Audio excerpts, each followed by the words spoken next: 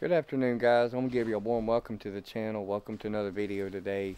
It's past time for one and you know I'm starting to make all kinds of content at least three or four weeks out so I don't know when you'll see this video but uh but yeah this one's to be kind of a slow day one here. Not really much going on because I got a lot going on this evening but I want to show you around the cars and what I've got going on with this one behind me while I've got the hood popped up on it give you guys a couple little minor updates on it.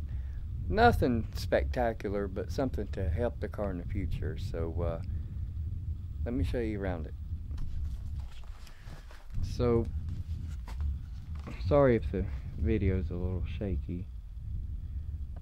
Um, if you haven't noticed,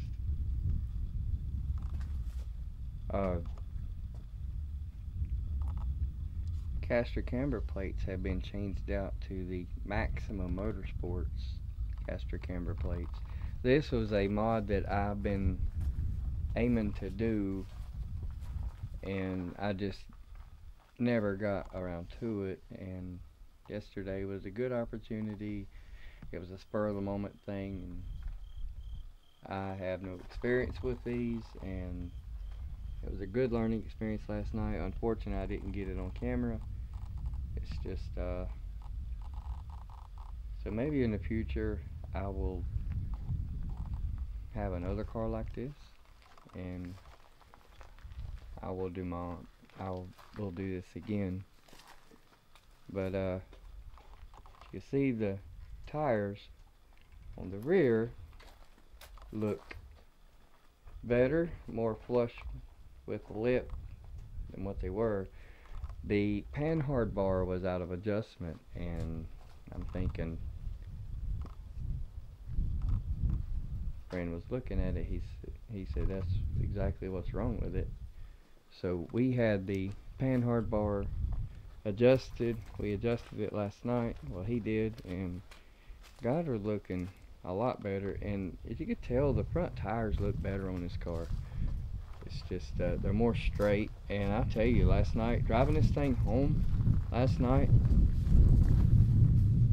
it has never driven that great before. And I don't want to drive it anymore until I get it to an alignment shop to see to get it to full get it fully aligned. But, but there she is looking very well. So that's really all I have on this one. It's just a caster camber plate upgrade and we adjusted the panhard bar to get the tires more flush. So it looks a whole lot better. That tire is massive. That's a 305 back of that thing. And it does help with traction somewhat but it still tries to blow them off. But uh, this will also potentially help the car get a better ET instead of pushing the front tires it'll actually be rolling them this time. So every little bit helps in eighth of a mile you'd be surprised.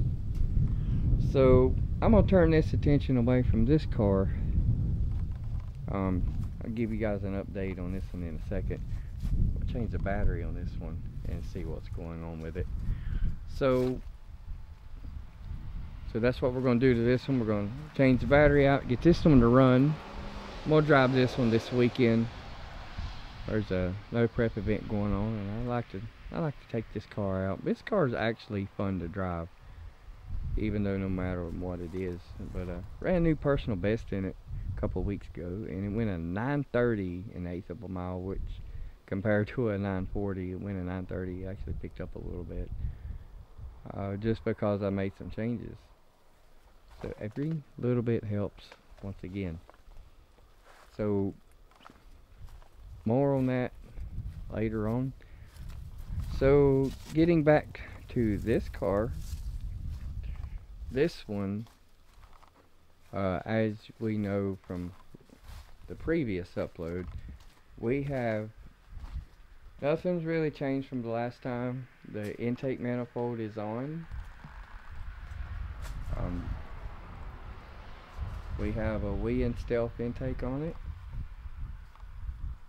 and all the bolts are torqued down to spec. We just got to put the valve covers on uh, bolt them down and to get the flywheel flex plate from for the transmission that's next. So that'll be possibly happening next week. So stay tuned for an upload on that.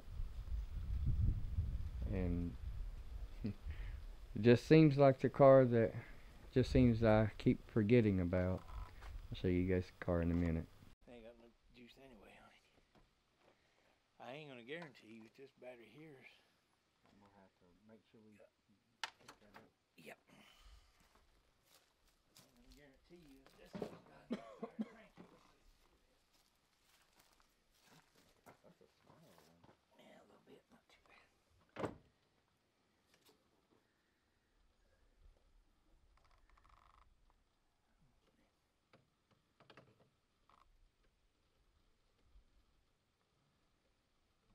Got paint on it somehow or another. Ain't the most ideal way to clean these, but that'll work. I'm gonna get a good connection. Battery's probably no good because 722 on it. That's just last year. You live last year? Yeah, perfect.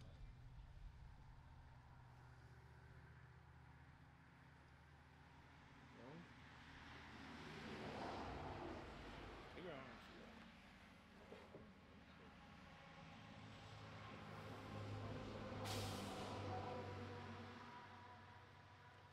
They don't have enough. needs to come down some. run that way.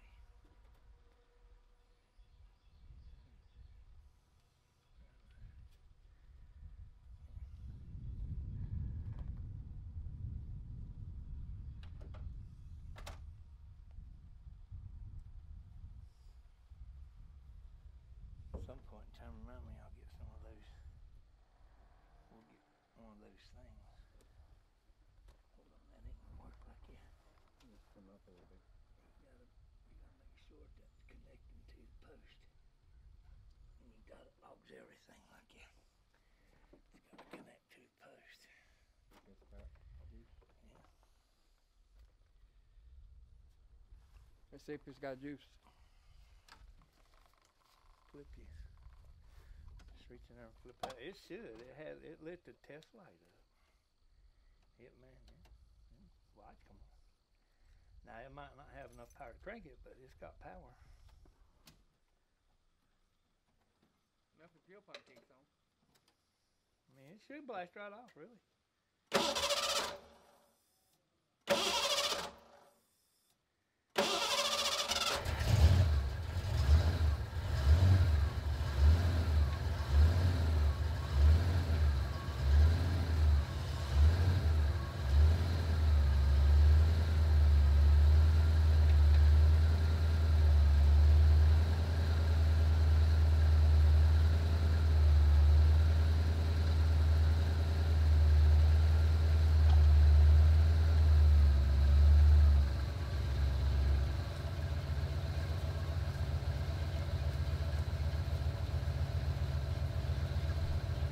Stock Fox body life, guys. Gotta love it. My father helping me out here. I really do appreciate his help.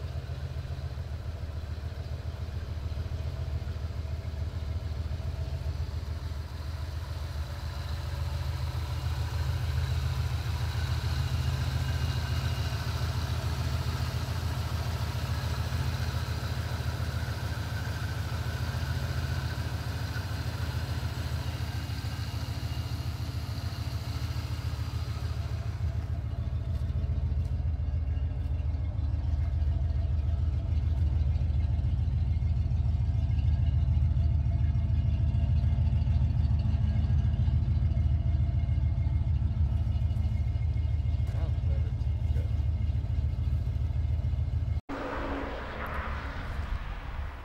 Alright guys, it's going to be the end of the video. Hope you have enjoyed this, but I'm going to talk about this car right quick. And I've talked about it before, but uh, as you can tell, it sounds pretty much stock. You know, stock drivability does run, it's pretty strong on the drag strip. It went a 930 from my previous time. It went a 940, it went a 930 this time. Very happy about that. But um, the uh, next few mods I have for this car, I have a an 8.8 with aftermarket axles with a 373. I'm gonna try that and go back to the track and see how well it does. And if I'm not happy with those numbers, we're gonna go faster. I already know I'm not gonna be happy with it, but we're gonna try it anyway, see how well it does with 373. Because I do plan on going boost with this car in the future, but I don't know yet. So I may go with a 410. So I have two options there, but there's not really much difference between 373 or 410. But I also have a comp cam that's a 284 286 duration with a 673 valve lift with a 114 lobe separation angle. I don't know, I'm curious to hear how well it sound in a car like this. I haven't heard it before, but should sound pretty radical, so I don't know. But trucks going by.